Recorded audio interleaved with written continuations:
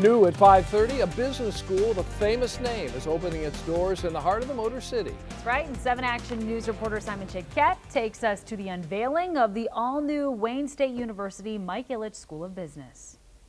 Today's unveiling of a new business school here at the District Detroit will not only serve to educate students, but also serve as a fitting tribute for the late Mike Ilitch. It's way beyond what Mike and I ever expected. It's gorgeous.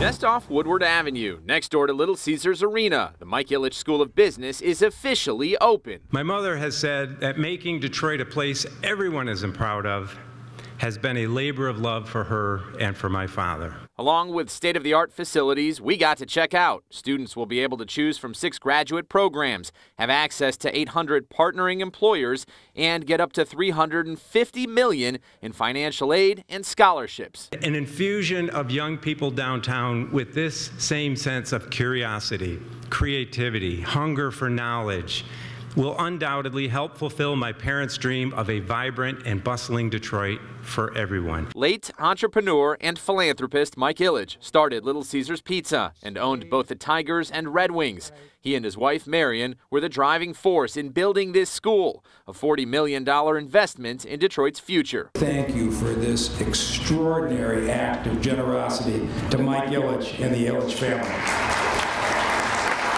With lots of help from the community, this school is expected to educate thousands of students. We're told the very first classes will begin next week. Simon Shaykhet, 7 Action News.